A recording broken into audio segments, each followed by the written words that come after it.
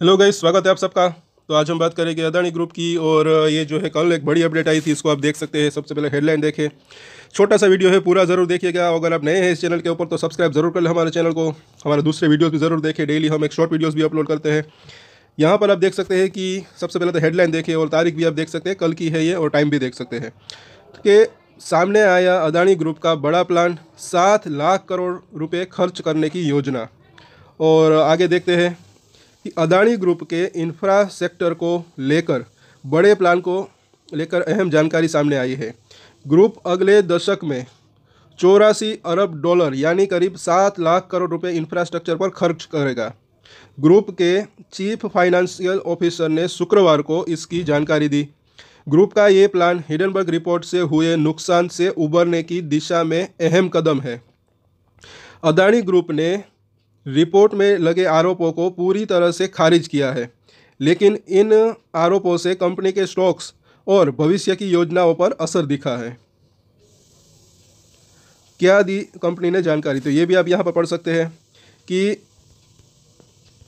Adani group के chief financial officer Jugendra Singh ने मुंबई में एक कार्यक्रम में चौरासी अरब डॉलर की योजना के बारे में बताते हुए कहा कि हम इससे इससे ज़्यादा निवेश करना चाहते हैं। इसी साल जुलाई में कंपनी ने पोर्ट, एनर्जी और इंफ्रास्ट्रक्चर कारोबार में बड़े विस्तार लक्ष्य की जानकारी दी थी। हालाँकि, साथ ही कंपनी ने कई नॉन कोर इन्वेस्टमेंट में से निकलने को लेकर भी जानकारी दी है।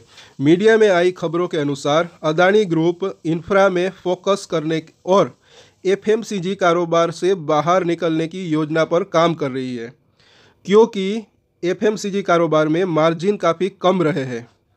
सीएफओ के मुताबिक ग्रुप की सात टॉप कंपनियों की कुल वेल्थ कंज्यूमर गुड्स की इंडस्ट्री से भी ज़्यादा है और ग्रुप अब आय बढ़ाने पर फोकस कर रहा है। और आखिर में यहाँ पर देख सकते हैं कि इंफ्रा पर बढ़ेगा फोकस कि ग्रुप की सात कंपनियाँ इंफ्रा सेक्टर में है, जिसमें Adani enterprise, Adani power, Adani green energy Adani ports and special economic zone Adani energy solutions Adani total gas और अंबुजा सीमेंट है। तो ये जो है आप सबके सब इसकी आ, मतलब कि इस रिपोर्ट को देख सकते हैं पढ़ सकते हैं। और हिंदी भाषा का हम चयन करते हैं ताकि जो है सबको आसान भाषा में समझ में आए दोस्तों।